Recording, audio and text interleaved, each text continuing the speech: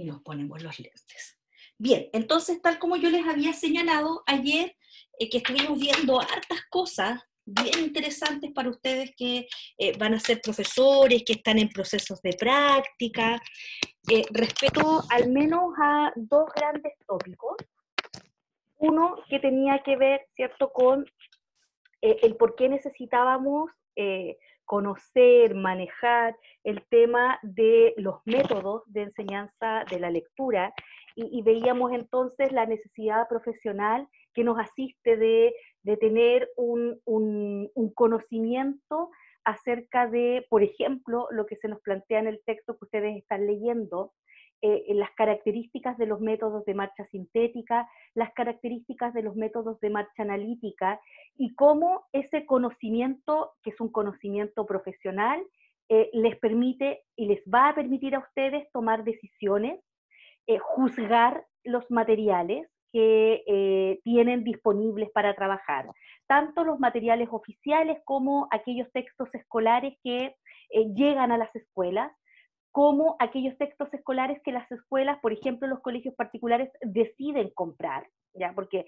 no vamos a hablar solamente que esto nos sirve para, para trabajar con, con, los textos ministeriales, sino que el que ustedes puedan establecer eh, eh, criterios de revisión, de análisis, les sirve para trabajar con cualquier tipo de material.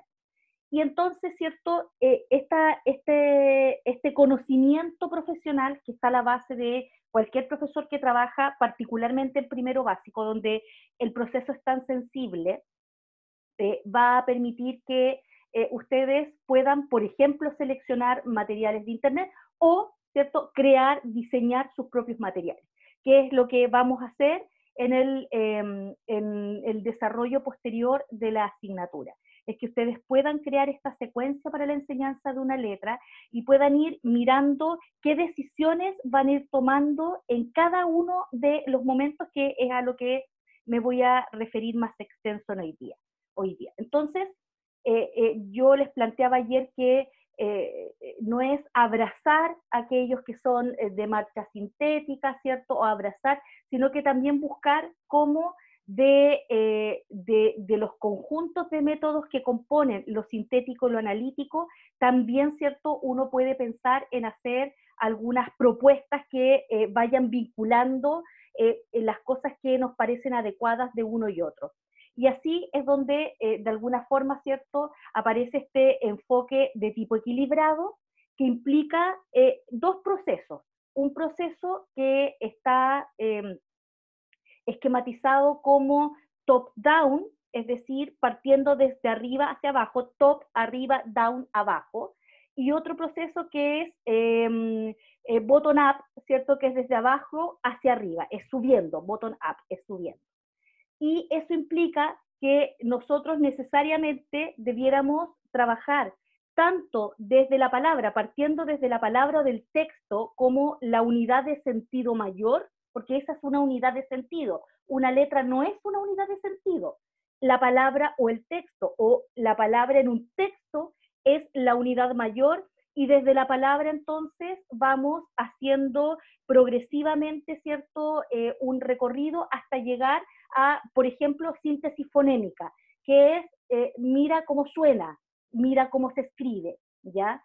Y para volver luego a la palabra, al texto y los, eh, eh, en el otro lado está, ¿cierto?, eh, los modelos bottom-up que parten desde la unidad mínima que tiene que ver con el sonido y su representación en una grafía hasta llegar al texto. Entonces, ¿qué es lo que proponemos nosotros? Es que tú puedas trabajar equilibradamente desde en ambos sentidos, desde el texto a la unidad mínima y desde la unidad mínima al texto. Entonces, no te quedas solamente, ¿cierto?, en aquello que revisábamos ayer, que era eh, esta propuesta, al menos así en el texto del silabario, que era eh, eh, partir inmediatamente, vamos a usar la F, que es la misma que, estábamos viendo ayer en el otro texto, que partes, em, parte, ¿cierto?, desde, desde, la, desde la letra, con la síntesis silábica, si te fijas ahí están las sílabas alrededor con las letras, luego está la usada en, en, síntesis silábica en distintas posiciones y luego venía, ¿cierto?, usada en algunos textos que son por sí mismos. Entonces yo te decía que aparece aquí Felisa toma café y eh, ahí se termina, ¿cierto?, el, el texto. Y luego dice Filomena dibujó y Felipe fuma la pipa, y no es que los tres, Felipe, Felisa y Filomena, estén en una situación común y sean personajes de una lectura, sino que por sí mismas están esas em, oraciones, ¿cierto? Porque tienen verbo, estas oraciones donde se está usando una palabra que tiene la letra que estamos aprendiendo. Y entonces aparecía esta, esta análisis que hicimos ayer del Leo primero, donde íbamos viendo que se parte, eh, se combinan se combinan los dos enfoques. Eh, se parte desde el texto, se parte em, con, un, con, un, con, un, dispositivo que le va a permitir al niño, ¿cierto?, leer y escribir, que en este caso es el cuento con un conjunto de preguntas y luego el correo electrónico, y que remite, ¿cierto?, a otra cosa, que es el modelo comunicativo interactivo. Entonces, no, no quiero que se confundan. Uno es el modelo que te dice cómo tú creas situaciones para el aula, y otra es el enfoque, ¿cierto?, con el que vas a enseñar la lectura. En este caso, un enfoque integrado con un modelo comunicativo interactivo dialogan así, pero absolutamente. Dialogan absolutamente. Por ejemplo, ¿cómo tú podrías eventualmente trabajar desde el modelo comunicativo interactivo? Piensa en lo que te estoy preguntando con este texto. ¿Te fijas lo difícil que es? O sea, creo toda una situación, pero este es mi recurso. Y estos son los ejercicios que están en este texto, que es un texto que, eh, ojo, por muchos años se usó y todavía hay colegios que lo siguen trabajando, el silabario hispanoamericano, y que recién, mira, acá en la página, en la página 60 y 57, aparecen unas lecturas.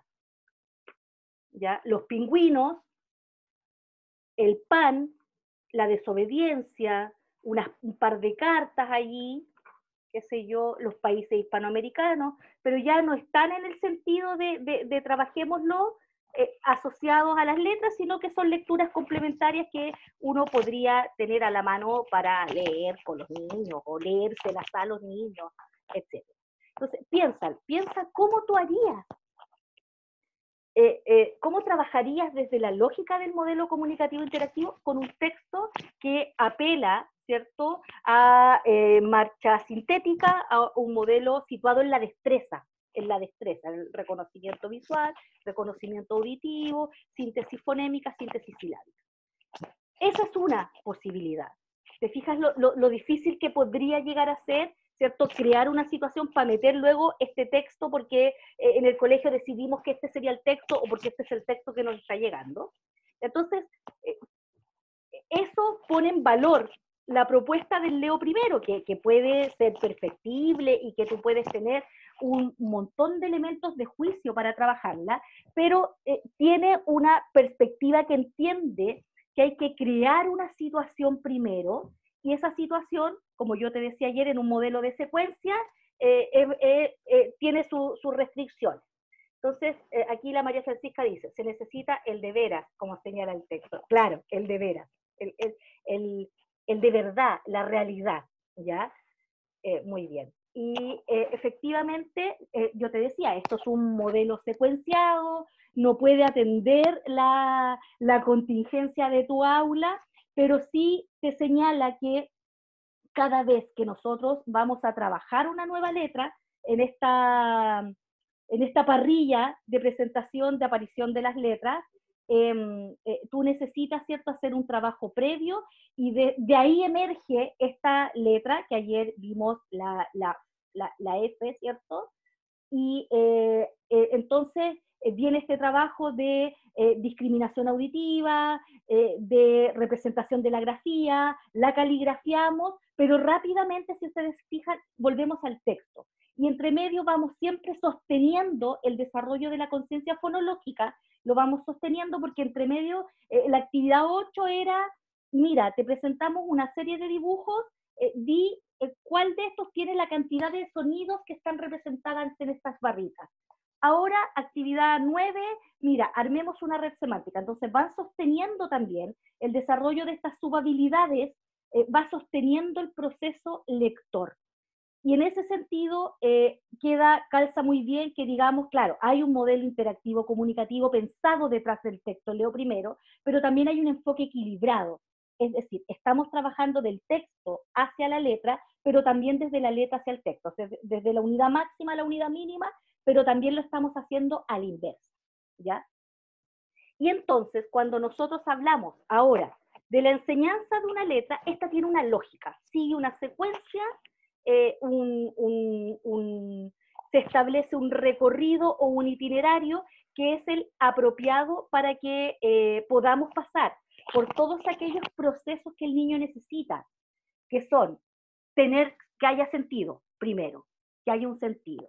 Luego, ¿cierto? Ver las formas de la letra, ¿ya? Si, es que vas a trabajar lo caligráfico eh, en términos de imprenta y manuscrita, eh, la idea es que en el ejercicio que ustedes van a tener que hacer, van a tener que enseñar las cuatro formas de la letra y contextualmente la realidad a ustedes les dirá si la decisión del colegio donde están trabajando es trabajar solo mano imprenta, trabajar las ambas, solo trabajar eh, manuscrita en los primeros años del ciclo escolar, es decir, al menos hasta quinto básico hay colegios que dicen eh, vamos a aceptar la manuscrita, y luego cuando ya desde quinto para arriba empiezan a aparecer, por ejemplo, los profesores especialistas disciplinares, el profe lenguaje, el profe matemáticas, créanme que les da lo mismo, les da lo mismo, o sea, si es que escriban como escriban, con el lápiz que escriban, y, ah, muchas veces son detalles que se, mm, son culturalmente pertinentes a los primeros años del, ciclo de educación básica. Yo no sé si ustedes recuerdan que un profesor en enseñanza media les haya pedido manuscrita o mano imprenta, o lápiz rojo. ¿ya? Hay, cuestiones que son culturalmente súper relevantes en, los primeros años de escolaridad, por ejemplo, el lápiz bicolor, ese lápiz que es rojo por un lado y azul por el otro, el uso de ese lápiz para marcar, por ejemplo, las mayúsculas iniciales con rojo. No sé si ustedes han visto eso o lo vivieron. Profe, en, la práctica, la profesora del colegio eh, tiene todo el, con la fuente de, de manuscrita y las R, y nosotros tenemos que hacer los PPT así, con la manuscrita y la R en rojo. Y la R en rojo, ¿viste? ¿Cierto?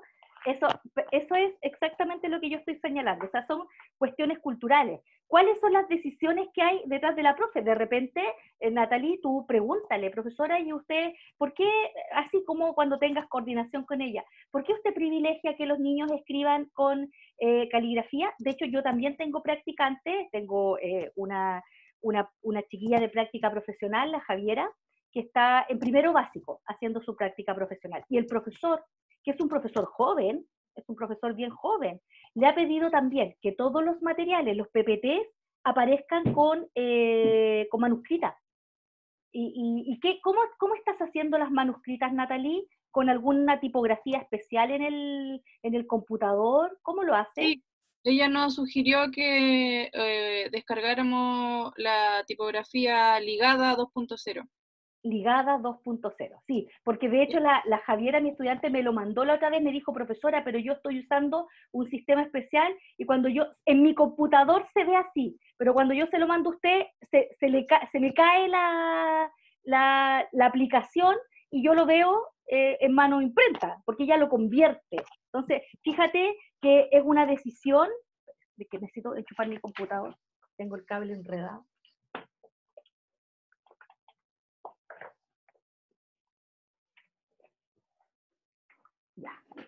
Ahí logré liberar el cable.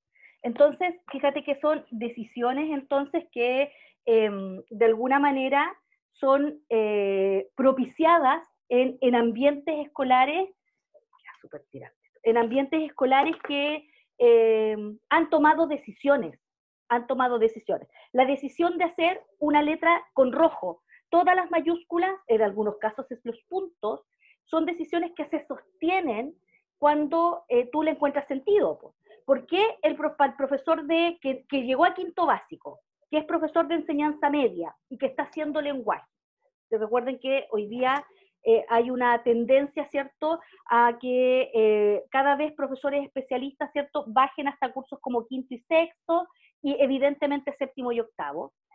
Le importe poco si usas manuscrita, usas mano imprenta, si eh, que el rojo en las iniciales, que el subrayado, que la fecha arriba, que, por ejemplo, la profesora de mi hijo hace que ellos, eh, este es muy mal ejemplo, hace por ejemplo que ellos tiren una línea roja en el cuaderno y aquí ella trabaja con la fecha, pero trabaja con dos tipos de concepto de fecha, la fecha corta y la fecha larga. Entonces, cuando les dice la línea roja, entonces tú tienes que tener el cuaderno preparado así, fíjate, siempre, aquí la asistente eh, de aula lo hizo, pero fíjate aquí, mira, ya, esto dice las articulaciones, entonces dice, ya, la fecha, la, línea roja tiene que estar siempre, fíjate que está siempre, y aquí no pusimos la fecha, la fecha larga. ¿Qué implica la fecha larga? Que el niño tiene que escribir, tiene que escribir. Ya no pone 12 del 5, sino que tiene que poner la fecha larga completa. Entonces aquí pone jueves 11 de marzo de 2021 tiene que escribir la fecha larga. Esa es una decisión, es una decisión que se puede sostener en la medida en la medida que les decimos a los niños, mira, es súper importante, además porque eh, eh, estamos aprendiendo eh, temporalidad, los meses, los días, y fíjate que los hace poner el día de la semana también, los días de la semana, o sea, esto nos sirve en la medida que entendemos que es súper importante poner allí eh, el día en que estamos trabajando, porque además recuerda que qué día es hoy, un montón de cosas. Entonces, llega un profe y dice, para mí esta cuestión, eh, y, los, y, los, niños le preguntan, pues, le dicen, tío, ¿con lápiz rojo con lápiz azul? Y el profesor dice, con el que sea. Tío, ¿con letra imprenta con letra manuscrita? Con la que sea. Entonces, claro, ahí se produce en, los estudiantes una suerte de paradoja, es como, ya, entonces ahora soy libre y puedo hacer lo que quiera. Y generalmente ese es el proceso que ustedes lo deben haber vivido, en que uno empieza a experimentar con la letra.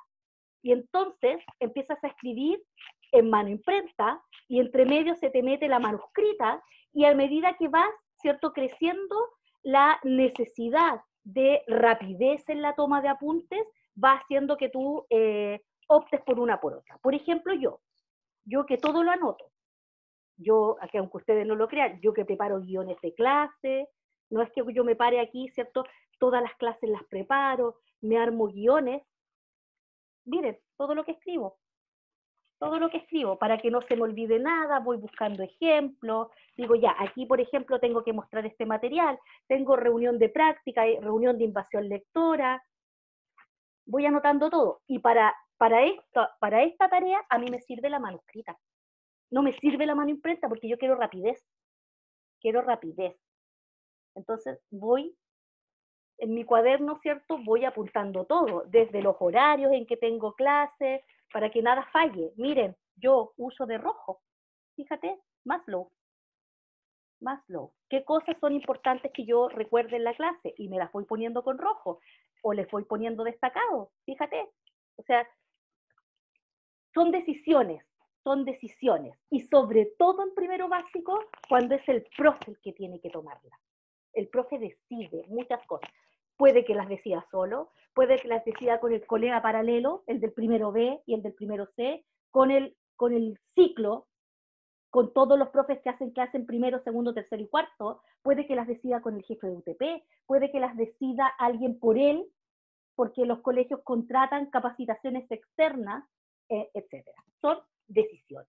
Y en la medida en que ustedes puedan argumentar decisiones, discutir decisiones y tomar decisiones, van a estar haciendo lo que le corresponde a un profesor o profesora. ¿ya? Construcción ahí de la identidad profesional del profesor de primero básico. Bien, entonces vamos a ir ahora a la secuencia de enseñanza de una letra. Lo voy a abrir directamente desde aquí. Para no ir al aula de nuevo.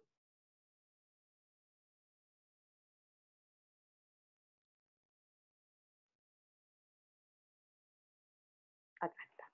Entonces, fíjate que aquí,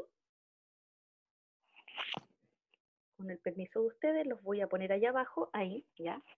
Fíjate que aquí em, necesito que se vea más grande.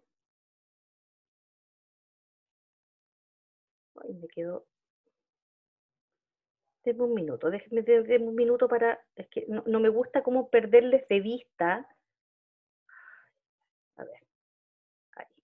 Pero quiero poner la presentación también. Entonces ahora los vuelvo a visibilizar.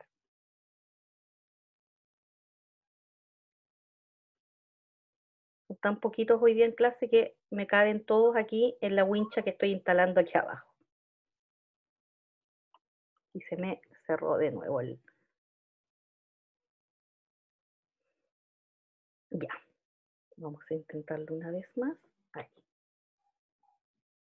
No, no, me gusta sentirme hablando sola, entonces quiero, quiero ver, aunque sean sus nombres, ahí la foto de la Javiera, la foto de la Noemí mirando, mirando el, el crepúsculo, y el Cristóbal con su rulito, ¿ya? Los demás pongan fotos, déjenme ver sus fotos, aunque sea la mascota, pongan sus fotos para las próximas clases. No sé Sí. poner foto. profe. ¿Ah? No sé poner foto. ¿En Aquí, serio? sí, sí, de verdad. Así de guasa soy. Ya. Ya, voy a, después les voy a hacer, de, de hacer un cursillo de, de cómo se pone la foto. Entonces busquen una foto bonita en sus computadores o que tengan en los celulares y se la mandan por WhatsApp. Hay, hay, hay varias cosas ahí que, que pueden hacer, ¿ya? Ya, entonces tenemos la enseñanza del código. Mira cuál es la ruta. Primero, esto eh, lo pongo como una referencia curricular porque eh, fíjate que los OA de primero básico, eh, en el eje de escritura, eh, te están diciendo que hay que escribir con los niños, además de los de lectura que te están diciendo que hay que eh, a- leer con ellos, hacer lectura conjunta, lectura compartida, interrogación de texto, etcétera. Ya me lo voy a saltar esto para que lleguemos aquí, a las fases de la enseñanza de una letra. Esta es una ruta posible. Esta es una ruta posible. Fíjate que esta ruta posible parte de la contextualización de la enseñanza. Tú ya entendiste perfecto a qué me refiero yo cuando eh, digo contextualización de la enseñanza. Lo discutimos la semana pasada cuando partimos viendo modelo interactivo comunicativo y yo te daba este ejemplo de el eclipse. Entonces, eh, tú llegas a la sala y un- un- una niña, una niñita te pregunta, profesora, eh, ¿va a ver el eclipse? ¿Cierto? Remontémonos al año 2019, que fue el eclipse profesora, ¿va a ver el eclipse? Entonces uno dice, eh, imagínate que alguien dice, ya, ¿y, por qué pasará esto del eclipse? Ya, entonces tú, profesor, profesora, sí, está atento al, al, al diálogo exquisito que te van generando los niños, dice, ya, pues a ver, tengo dos alternativas, o le doy la respuesta y la escuchó a quien le interesó, o busco allí, ¿cierto? Veo que allí hay una posibilidad de conversar con los niños y las niñas. Cuando te dicen, el niño, vi- viene el calendario de vacunas, ¿cierto? Y yo les tengo que decir que a nosotros nos toca vacunarnos la segunda semana de mayo, que es la vacuna de la influenza, que es parte del calendario. Ay, entonces los niños dicen, pero, pero a mí me da miedo vacunarme, o, o nos van a venir a vacunar en el colegio, entonces ya, tú aprovechaste allí, ¿cierto? El espacio que te están dando ellos, recuerda que ellos tienen que ser protagonistas, pero tú eres el articulador, te están dando el espacio para que tú digas, a ver, eh, ¿alguien le tiene miedo aquí a las vacunas? ¿Y, ¿Y por qué le tenemos miedo a las vacunas si las vacunas son algo tan beneficioso? ¿Por qué son beneficiosos? E inicias una situación que hace que ellos hablen, que te digan, eh, eh, que te diga alguno, mi mamá no me va a vacunar, cosas de ese estilo. Vas generando situaciones.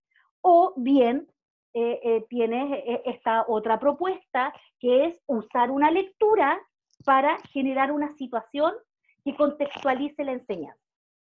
Vamos a fijarnos solamente en, vamos a hacer una lectura horizontal de los cajones hacia el lado y luego vamos a mirar, ¿cierto? Esta, esta eh, em, como el, la flecha esta que los está uniendo no es una flecha precisamente, y abajo hay otras palabras, pero miremos arriba. Luego viene la presentación de las formas gráficas de la letra. ¿Cómo es una letra? En sus mayúsculas y en sus minúsculas, en, sus, en la mano y en la mano escrita. Luego viene el reconocimiento visual de la letra. Mira cómo es. Mira cómo es. Luego viene el reconocimiento auditivo de la letra. Mira cómo suena. ¿Ya? Luego la caligrafiamos, es decir, la usamos en la escritura. Y luego cierras con nuevamente la lectura y la escritura, que son las, las grandes habilidades que están a la base de la enseñanza del de, eh, lenguaje y la comunicación. Entonces, contextualizamos, presentamos las formas gráficas de la letra, hacemos reconocimiento visual, eh, aquí yo te voy a recordar varios materiales que habían en el organito para esto, reconocimiento auditivo, recuerda que Leo primero decía ayer, ¿cómo suena? Y yo te decía, hacemos con los niños, es como si estuviéramos apagando una vela. El aire tiene que sonar, nosotros decimos felicidades, felicidades. Con las, eh, en realidad no hay mayor problema, pero cuando te toquen, ¿cierto?, otras letras como la, la G, entonces, ¿cómo es el sonido suave? G, G. ¿Cómo es el sonido fuerte?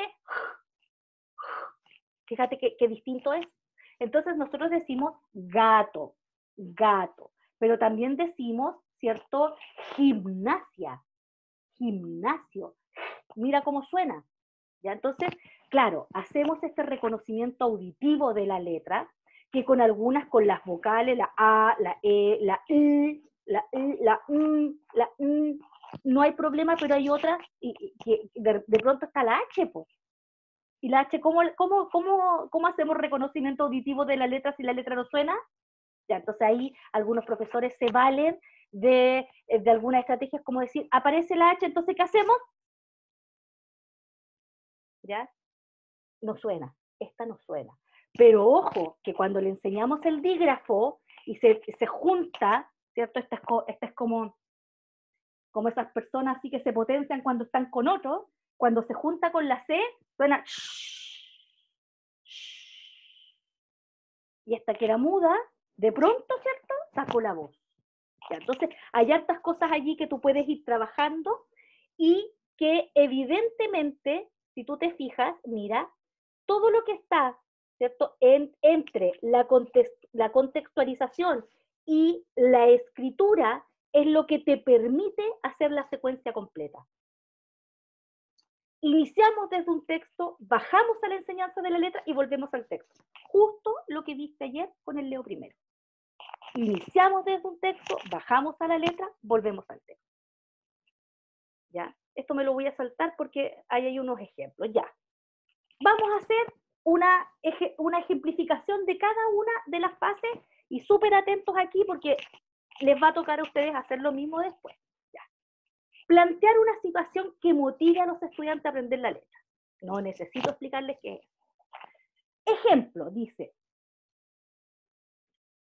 Niños, ¿recuerdan, cierto? ¿Recuerdan cuando para la producción de unos afiches que hicimos, revisamos la letra P? Me parece que es importante que la practiquemos un poco más para que no olvidemos cómo escribirla y cómo leerla en situaciones, por ejemplo, cuando tengamos que hacer las invitaciones que, tenemos que hacer para la actividad, para la misma actividad para la que hicimos los afiches. Y entonces, partes de una situación que, que se había generado en la sala de clase que ya la vas a ver cuál era, ¿cierto? Que eh, los niños habían realizado unos afiches para una situación en específico y eh, la profesora aprovecha esa situación para eh, seguir trabajando sobre la letra porque la vamos a seguir ocupando. Entonces, moviliza conocimiento previo y le dice, a ver, vamos a recordar palabras, pero no cualquier palabra, vamos a recordar las palabras que tenían que ver con el tema sobre el cual hicimos los afiches. Entonces, fíjate que aparece aquí eh, una suerte de, red semántica donde está el concepto patrimonio al medio y arriba está pinturas, pescador, porteño, puerto. ¿Ya? de todas las muchas palabras que se vinculaban con patrimonio, recordemos aquellas que tenían, ¿cierto?, una al inicio. Entonces, recoges esas palabras, Y luego viene, vas a la presentación de las formas gráficas de la letra.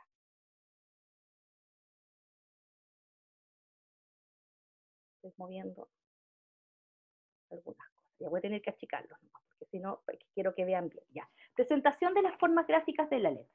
Todas las posibilidades que tú encuentres. Utilizar texturas. Primero, ¿cómo son? Fíjate que en el cartelito rojo está las formas mayúsculas y minúsculas de la mano imprenta y la manuscrita. Luego esas mismas formas están modeladas con plastilina. Puedes usar ahí cualquier otro recurso, puedes usar estas masitas que se hacen de agua con sal, eh, agua, no, no es agua con sal, harina con agua, ¿cierto? Que, que, genera una masita así como que te permite modelarla y que después se seca, ¿ya? O sea, infinita cantidad de posibilidades para que ellos la hagan, ¿ya? Eh, no sé, eh, que eh, con, con, algún, con, con, algún otro material, con goma eva, no sé, etc. Ya. Entonces, haces la presentación gráfica, mira acá, estás con, lija, con lija, ¿ya? Y a los niños no les pasa nada, al contrario, una sensación agradable, entonces van haciendo el recorrido del trazado de la grafía y como la lija, ¿cierto?, genera esta aspereza, eso contribuye a que se fije como en la memoria, eh, la memoria kinestésica del niño. Aquí fíjate que hay un niño que la está, la está ya no está solita en, la pura silueta, sino que está sobre un cartoncito, y luego actividades como la caja de sémola, que puede tener harina, eh, todas las, con, con, con, perdón, arena, harina, con todas las posibilidades que ustedes quieran. Se, se usa no la harina y más la sémola, porque la sémola es, eh, son puras pelotitas chiquititas. Entonces también eso eh, genera una sensación distinta en la yema de los dedos de, de, los niños. La hacemos en el aire, la hacemos grande, la hacemos chiquitita en el aire, la hacemos sobre la espalda de un compañero, ¿cierto? Etcétera utilizar texturas con el fin de que los estudiantes vean y sientan la forma de la letra en sus cuatro representaciones gráficas. Vemos y tocamos, diciendo a su vez el sonido. Hay una, relación ahí entre la memoria eh, de la correspondencia entre grafema y fonema. Entonces decimos, estamos dibujándola. Todo ese proceso hay que trabajarlo con los niños, sobre todo cuando aparecen estas, estas letras de menos frecuencia. Recuerda ayer que yo te decía que las vamos enseñando por frecuencia. Entonces, cuando aparece, por ejemplo, estoy pensando en la J, ya en la J, piensa que eh, es más, mucho más posible que un niño se encuentre con una con una L, con una, con una T, que con una J. ¿Ya? O cuando aparece, no sé, por ejemplo, la Y, ¿ya? La Y, que además tiene eh, sintácticamente, tiene dos funciones. Una es como conjunción por sí misma, y, pero también está integrada a las palabras y tiene otro sonido que es y. ¿Ya? Entonces, cuando aparecen, esto parece súper fácil hacerlo con la pero con otras letras, ¿cierto? E, evidentemente eh, se va complejizando un poquito más. Pero esto es una parte entretenida de la enseñanza de la letra. Luego, fíjate, dice reconocimiento visual de la letra. ¿Cuál es una P que está bien hecha? Entonces, fíjate que ahí los niños les, mostramos un montón de que están unas para allá, otras para acá, unas para arriba, otras patas para abajo, y eh, el niño tiene que encerrar aquellas que corresponden con el modelo que es el de una P. Tengo un, un comentario aquí en este. A ver. Profe, ¿cuáles eran las cuatro formas gráficas? Estas que están acá. Muy buena pregunta. Esta. La, la mayúscula, la minúscula en imprenta y la mayúscula y la minúscula en manuscrita. ¿Ya? Les enseñamos las cuatro. Lo que hace Leo primero es que le enseña las formas solamente en eh, manu, manu imprenta. Entonces, si tú te acuerdas aquí, te lo voy a mostrar con esta misma letra no sé dónde están, a ver. Ya, ahí. Fíjate que trabaja solo con la forma en, en, imprenta. ¿Ya? y el, em, el silabario, ¿dónde se me fue? Lo pelamos tanto que se me escondió. Aquí está. Y el silabario hace lo mismo, pero incorpora, mira, mira acá. Profe, es que está transmitiendo el PPT. Ah. Ya, ahí la veo. Ya, ahí sí. Sí, lo que pasa es que lo, lo, sobre- lo sobrepuse. Fíjate que aquí está Ya. el alfabeto en las cuatro formas, mira. Lo trae al final, mira, esta es la contratapa, y trae las cuatro formas de la letra. Entonces te voy a mostrar la A, y fíjate que está la mayúscula y la minúscula en imprenta y en manuscrita. Mira la A que eligen, a ver, ¿cómo, cómo les muestro?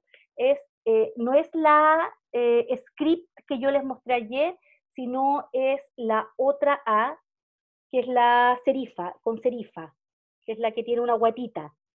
Esa es la A que enseñan acá. Y fíjate que acá está, dice silabario, pero abajo está usando la manuscrita, ¿ya? Entonces, sí nosotros vamos a incorporar las cuatro formas de la letra, ¿ya? Que eran esas que te acabo de mostrar. Entonces, vamos a reconocimiento, discriminación visual. Entonces, por ejemplo, el semestre pasado, que hablamos tanto a partir del urganito, eh, que a mí me gusta mucho porque a, mí personalmente me ha servido harto el urganito, eh, eh, había un ejercicio en el urganito donde habían puras B y D metidas, B y D, B y D. Entonces el niño tenía que encerrar, ¿cierto? Con un color las que eran B y con otro las D. Porque, ojo, son igualitas, pues, solo que una mira para un lado y otra mira para otro y eh, los niños pueden aprenderlas, pero siguen leyéndolas como cuando son minúsculas, porque cuando son mayúsculas cambian, cambian, ¿cierto? Una tiene dos guatitas y la otra tiene una sola, entonces es fácil para ellos distinguirla, pero tiene que ver con, eh, con que hay que trabajar fuertemente el reconocimiento visual de la letra, sobre todo, por ejemplo, cuando tienes letras que son eh, parecidas, como la Q y la, y la, y la G, que ambas bajan, solo que aquí bajo y subo, y acá solo bajo y le pongo, ¿cierto?, el, la M con la N, ¿ya? La E con la L, cuando los niños las hacen del mismo tamaño, entonces tienes que hacer, ¿cierto?, tienes que permitirle que eh, vea que la E tiene una altura y que la L tiene otra. O cuando los niños hacen la T, por ejemplo, que a veces la hacen abierta como una L y le ponen después el palito. Entonces a veces se les olvida ponerle el palito y queda como una L. Entonces todo eso hay que trabajarlo. Luego, reconocimiento auditivo de la letra. Hay una variedad de ejercicios para hacer esto. Ustedes tienen eh, muchos en, su, en sus baterías de conciencia fonológica. Yo te muestro una imagen y dime con cuál empieza. Eh, twister silábico, ¿cierto? Tengo un, un, una, una ruleta y te toca decir eh, la sílaba inicial de la imagen que te estoy mostrando, que son puras imágenes con... Eh, o yo le pongo lupa y te, me tienes que decir, ¿cierto? Eh, si la, está al comienzo o está al final o está al medio, todas las actividades que ustedes ya conocen y que sirven para reforzar el reconocimiento auditivo de la letra. Con la no, generalmente no hay problema, con la tampoco, pero yo te decía que con la hay algunas dificultades que hay que trabajarlas, afianzarlas muy fuertemente. Acá, por ejemplo, con ejercicios que ustedes conocen, pinta las imágenes de las palabras que llevan letra ¿ya? Entonces, esta lleva, esta no, esta tampoco, esta sí. Y además, pinto la sílaba donde está el sonido. Pintaría esta y aquí tengo que pintar esta otra. Solo trabajo fonológico.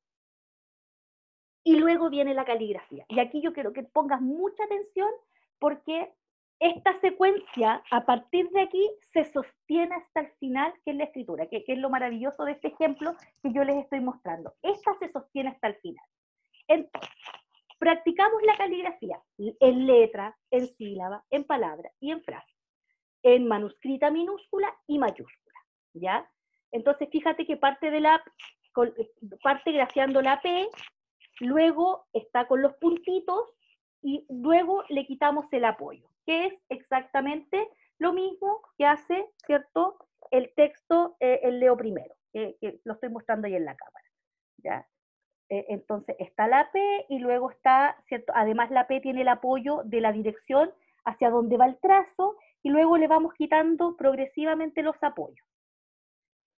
Y luego caligrafiamos la sílaba, hacemos la misma secuencia, la sílaba con puntito, y luego le quitamos el apoyo. Y le dejamos solamente el punto de inicio. Fíjate que luego aparece una palabra al tiro, puerto. Puerto. Y luego esa palabra se integra en una frase, los botes del puerto. Ya, los botes del puerto. No nos quedamos caligrafiando palabras aisladas. Y es lo mismo que de alguna forma, ¿cierto? Tú puedes encontrar aquí en el Leo primero, que yo te mostraba que estaba el ejercicio, voy a agrandar aquí para verme, estaba ese ejercicio, pero mira, inmediatamente a la vuelta, el niño tiene que caligrafiar la palabra picaflor. Y fíjate que, pica, que picaflor está ahí, al inicio de la lección, y además, antes han leído una lectura que se llama El pintor de pajaritos. Y han trabajado una actividad como esta, que es de comprensión lectora, ¿cierto? Que es un cuento de, Dios que había pintado a los pajaritos, ¿cierto? Y a cada uno le dio colores, entonces, se pinta a los pajaritos tal como Dios los pintó. Luego, a qué se asemeja el color de un picaflor, porque el picaflor es como el que llegó último, ¿cierto? Al, a, esta, a esta sesión de pintura que estaba haciendo Dios, entonces lo pintó de múltiples colores, con todos los restitos que le quedaban. ¿ya? Ese es en el fondo, la historia y eh, cómo estaban los tarros al llegar, cuando llegó el picaflor, y fíjate que aparece entonces la, en ese contexto y la escritura de la tiene que ver con el contexto. No es una, una palabra aislada. No es que de dónde salió picaflor, viene de ahí. Lo mismo acá. ¿Por qué? Fíjate, fíjate cómo sigue la secuencia, mira. chico acá, fíjate que va nuevamente iniciando, pero ahora con mayúscula, porque tiene un sentido, porque vamos a escribir un nombre propio. Y ustedes saben que eh, los nombres propios hay que decirle a los niños que se escriben con mayúscula en tanto, ¿cierto?, em, eh, eh, regla ortográfica. Entonces, fíjate que aquí nuevamente hacemos el mismo ejercicio, pape, pipo, pu, Pedro, fiesta de San Pedro, fiesta de San y el niño completa. Pedro. Fíjate, recuerda, llévate en, la, memoria Puerto y Pedro. Ya. Mira, volvemos a lectura. Ya hicimos todo este trayecto de la, de la letra, volvemos a lectura. Y mira cómo sigue la situación. Leer palabras en un texto que tengan las letras que se está trabajando. La lectura de este texto debe tener sentido. ¿Para qué te lo vuelvo a decir, cierto? Ejemplo leer la comunicación que recibirán los padres sobre la feria que están preparando, leer las palabras y seleccionar individualmente la imagen que represente la palabra. Entonces, esto está en el contexto en que en el colegio se van a celebrar, ¿cierto? Eh, se va a hacer una suerte de, de feria a propósito de San Pedro, que es parte, ¿cierto?, de las tradiciones de la gente que vive en el puerto. Entonces, a este curso le ha tocado tener un stand y, e hicieron una ficha. Recuerda que esta situación partió cuando la profesora le decía, ¿se acuerdan que en el afiche pusimos hartas palabras? ¿Se acuerdan cuáles eran? Entonces hablábamos de patrimonio, hablábamos de pescadores, hablábamos de puerto eh, y, no me acuerdo cuál era la otra palabra. ¿Ya? Entonces, mira, aquí está. Dice, el Día del Patrimonio se celebra el año 2000 en Chile. Esta es la comunicación que les, les mandaron a los padres. En el puerto, las actividades que se realizan son muy diversas. Los museos eh, de la ciudad abren sus puertas, se realizan recorridos por las calles, se preparan visitas guiadas. Este año, con el fin de participar en este día, la escuela ha decidido hacer una feria abierta a la comunidad. En ella, los estudiantes nos contarán sobre las riquezas de Valparaíso, ahí está el stand, eh, la fiesta, y a este curso le ha tocado la fiesta de San Pedro. La fiesta de San Pedro, la labor de los pescadores, los animales que podemos encontrar en nuestro mar, entre otros. Los invitamos a participar con sus familias. Saluda cordialmente la dirección de la escuela. Y fíjate que hay apoyo de imágenes acá. Mira, está San Pedro, ¿cierto? Ahí está la Virgen, están los pescadores, hay imágenes que son como características de esta fecha. Entonces, hay un contexto. Y ese contexto dice patrimonio, dice pescadores, dice puerto, dice San Pedro. Y entonces escribimos. Y entonces tú dices, pero ¿cómo si los niños no saben escribir? Ah, pero mira, mira cómo tú les vas dando contexto para que ellos puedan usar palabras que tienen la letra que estamos estudiando. Entonces, dice, escribir las palabras que faltan en un texto. Esto es lo que se llama eh, tipo close. Y yo les presento un texto al que le he quitado algunas palabras y espero que ellos puedan, ¿cierto?, eh, hacer dos cosas. Primero, eh, en este caso, usar la palabra con la, pero también eh, poder entender que, cuáles palabras hacen sentido para completar, ¿cierto?, la idea. Entonces dice, ejemplo, presentar volantes incompletos para entregarle a las personas al llegar a la feria. Ya, niños, vamos a hacer volantes, ¿cierto?, entre todos. Yo voy a escribirlos en mi computador y voy a imprimirlos y ustedes van a completarlos y los vamos a repartir a la entrada del colegio. para que vengan a visitar nuestro stand. Para completarlo, el profesor le pasará a cada estudiante uno de los volantes y lo leerá en voz alta. El profesor lo lee. Al llegar a los espacios incompletos, el profesor mostrará una imagen y los estudiantes deberán escribir a qué se refiere. ¿Ya? Ven a visitar el stand de la fiesta de San Pedro. Y recuerda que lo caligrafiaron antes. ¿Ya? Y si no lo recuerdan, ya. ¿Con qué letra? ¿Cómo empezaba? Con la, eh, ¿Era mayúscula o minúscula? Era mayúscula. ¿Por qué era mayúscula? Porque era un nombre. Y ahí los nombres se escriben con mayúscula. Ya. Alguien no recuerda porque tiene entre medio un fonograma que es la dr, ¿ya? Vamos a escribirlo aquí o busquémoslo en nuestro cuaderno de caligrafía y traspasémoslo acá.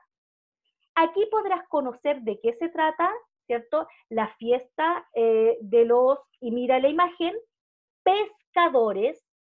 Fíjate que está la imagen, ah, permitiéndole rellenar el espacio. Ya, ¿alguien recordaba cómo se escribe pescadores? Escribámoslo acá, vamos a nuestro muro de palabras. Recuerda que al principio ah, hicimos un ejercicio donde pusimos patrimonio, pusimos palabras al lado. Ya, copiémoslo acá. ¿Ya? Eh, de, que los pescadores de nuestro puerto celebran todos los años en el puesto, pese a que en otro lado se usó la palabra stand, ya como el, el, anglicismo, en nuestro puesto 7 te esperamos. Y fíjate entonces que eh, hay una secuencia, ahora voy donde están ustedes. Déjenme dejar de compartir. Entonces, fíjense ustedes que hay una secuencia completa. Está la secuencia completa, ¿ya?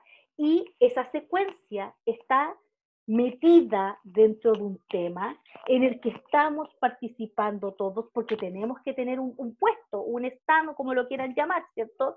Y en ese puesto vamos a mostrar en la fiesta de San Pedro y nos hemos preparado y al alero de ese contexto es que apareció la enseñanza de la letra, que había aparecido previamente, pero aquí demostramos la necesidad de seguirla trabajando. ¿Queda claro cómo funciona, cierto, en, el, en la secuencia? Profe. Dígame. Yo tengo una duda. Ya. Eh, los fonogramas, porque con la profe Jocelyn también estamos trabajando con esta actividad, entonces yo tengo una duda, si ¿en qué momento a los niños se le eh, enseña el tiro al fonograma? ¿Desde el momento en que uno le presenta la letra? No, no, es cierto. Sería como raro. Sí, lo enseñan después. enseñan después. Después que ellos tienen como... Sí, pues de hecho, mira, de hecho ayer eh, era, es algo que yo lo señalé ayer, cuando nosotros miramos la guía didáctica docente de, de mm, del eh, Leo primero, fíjate que, incluso la C ¿cierto? Aparece, aparecía en la elección 33 y en la 70 y tantos aparecía con la E y con la I, que es el otro sonido.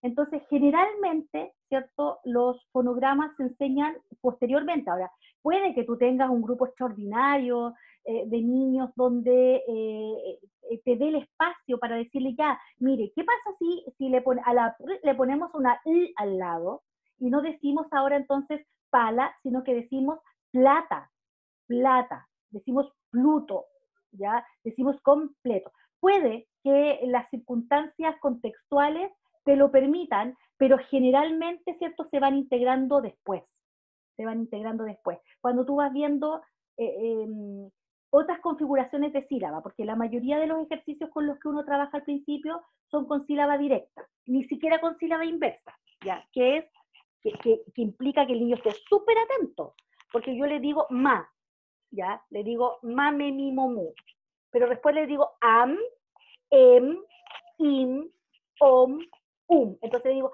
ambulancia. Entonces el niño tiende a leer la sílaba poniendo la M en primer lugar. Y tú tienes que hacer que él se dé cuenta que la sílaba es posible armarla al revés. ¿Ya? Y eso es progresivo. Entonces, claro, hay fonogramas que son más difíciles, sobre todo los que tienen r, porque el sistema de desarrollo fonológico del niño, ¿cierto? Está todavía eh, en, proceso. Y la R es la, la de las últimas que eh, el niño logra em, articular. Es, muy común. Eh, mi estudiante en práctica me reportan este problema y me dice, si es que el niño dice, por ejemplo, em, a ver, cartera, cartera, todavía no le sale bien la, ya yo digo, ya, ¿y qué edad tiene? Tiene nueve, no, pues ya debería haberlo logrado. A los seis años, claro, todavía los niños están logrando el punto de articulación de la más difícil, que es la vibrante simple y múltiple, la que es difícil para ellos. Entonces, sí, el tema de los fonogramas generalmente se tira a posteriori, al menos que tú tengas un escenario muy propicio para que tú hagas esto. Ya. Y si le ponemos una e al lado, ¿ya? Pero, por ejemplo, cuando tú dices tractor, eso es difícil, pues tractor, porque además, ¿cierto? No es solo la TR, sino que termina con un sonido track. Ahí hay una sílaba, tractor. ¿Ya? Entonces, claro, dígame. Ya, pero en este caso, eh, claro, la, entiendo que, pero ¿qué pasa si un niño descubre el fonograma? Me por ejemplo, yo tengo una actividad. se lo celebramos y se lo enseñamos al tiro. Sí. Ya, por lo menos a ese niño que le quede claro, ¿cierto? Sí, lo favorecemos inmediatamente. Sería sería súper eh, triste decirle, espérate, que eso viene en la lección 260 mil. ¿Ya? Siéntate a esperar la.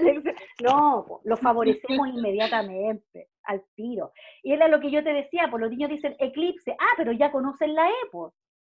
La traen, la, la, la saben. Entonces lo que tú haces es decir, ya, entonces escribamos la hora y escribámosla así, con, con manuscrita, escribámosla con mano imprenta, eh, veamos si, si la, lo que estamos escribiendo parte diciendo eclipse, entonces es con mayúscula, lo favorece totalmente, totalmente. No lo dejas ahí colgado, porque hay niños que avanzan súper rápido además, y vas a tener niños que llegan a primero básico leyendo. ¿Ya? Entonces, ¿qué hago? Lo, lo meto, lo meto a ese niño en el, en el estante hasta que lleguemos al nivel donde está. No, voy generando para él otras situaciones, lo, le pido que, que, me sea mi ayudante, eh, lo pongo, ¿cierto?, eh, a trabajar con todas las cosas que a ustedes se les puedan ocurrir que se puede hacer con un niño lector, que si no se va a estar muriendo en vida mientras usted está enseñando las vocales. ¿Y qué les pasa? Busca tu libro, trae tu libro, lo tienes leyendo. Eso. Eso. Pero, pero claro, sí, hay fonogramas que son eh, más complejos, hay niños para los cuales es súper complejo, sobre todo los niños que tienen eh, eh, dificultades de lenguaje, ¿cierto? Dificultades de lenguaje. Entonces, les digo, ayer una estudiante en práctica me decía, profe, es que yo tengo una estudiante que no, no, no le sale la R, no le sale. Entonces dice, Pedro, Pedro, Pedro, no, no le sale. Entonces ¿qué alternativas tenemos? antes de determinar si a, si a los nueve años no, no, ha logrado el punto de articulación, hagamos ejercicios con ella. Entonces digámosle ya, mira, ponte la mano aquí, ve cómo suena. mira, lo que está ahí sonando son tus cuerdas vocales que están vibrando con el paso del tiempo. Entonces hagamos un ejercicio y, y tú sobre exagera, entonces mírate, mírate cómo suena, mira tu boca, fíjate que se están moviendo tus labios. Haces todo un trabajo antes de decir, no, tiene problemas de lenguaje, que lo vea un fonoaudiólogo porque yo no puedo. ¿ya? Con la, y la J, ¿ya?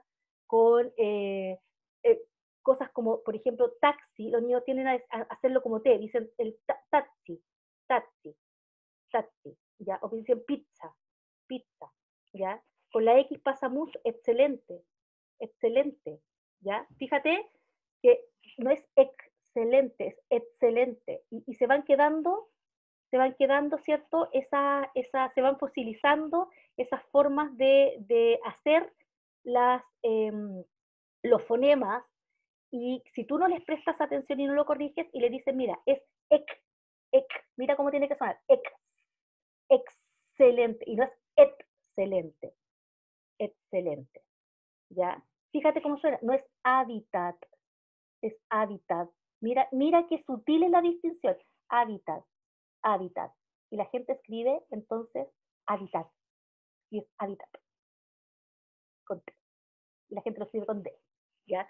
Todas esas cosas son fonológicas y hay que trabajarlas, no solamente con los fonogramas, sino que cuando están esas letras en posición final, como las de las hábitat, la gente dice hábitat, y es hábitat, ¿ya? Eso hay que trabajarlo, dime. Eh, pero ahí nos perjudicó la FP, porque la FP se escribe de la, con la otra letra, entonces ahí la gente, yo creo que visualmente, como tiene grabada la FP, los comerciales y tanta tele, lo escribe de esa forma, estoy segura, profe. Sí, pues, AFP, sí, sí, totalmente. La gente dice, eh, es que estoy colapsada, colapsada, colapsé. Entonces yo siempre bromeo con eso, así como colapsé, ya colapsé. Y claro, fíjate que cambian una por una C, colapsé, ya estoy colapsada. Entonces, claro, a los niños hay que prestarle mucha atención en el plano fonológico, no es solamente que yo te decía, mira, hagamos ya, y listo, y, tú das por, eh, das por, le pones un checklist a eh, el sonido, sino que es cómo suena con otras, cómo suena con otras, ¿ya? Es, eh, por ejemplo, em, la F en nuestro idioma generalmente aparece en posición inicial, en posición inicial de sílaba, ¿ya? Pero ¿se les ocurre algún ejemplo donde aparezca en posición final palabras que terminen con F? parece que no hay, parece que no hay, en nuestro idioma al menos, ¿ya? Solo se me vienen a la mente ejemplos con posición inicial de sílaba o sílaba intermedia, pero con la F en posición inicial de sílaba, pero hay otras que no, ¿ya? Hay otras que, que, son, eh, hay que prestarles atención, hay que hacer que los niños las escuchen y se escuchen. Ya, mis estimados, siendo la 1.30, ¿cierto? Eh, les dejo cualquier consulta que ustedes tengan antes de la evaluación, me la hacen saber. Yo voy a, de aquí al viernes voy a publicar las, los horarios. Siempre vamos a tener un horario AM y un horario PM, sobre todo ustedes que tienen las clases partidas, tienen una hora el miércoles, eh, una hora el martes y una hora el miércoles. Te voy a dejar dos horarios para quienes puedan, no sé, pues tomarlo, por ejemplo, el, el miércoles o el martes y eh, puedan seguir disponiendo de tres tres horas y media para hacer el, control de lectura, o con calma lo hagan en la noche, ¿ok? Y el fin de semana voy a estar subiendo las notas, para que estén atentos también ahí de la cátedra. Ya, profe. Ya, pues, gracias. Un abrazo. Gracias. Muchas gracias, profe.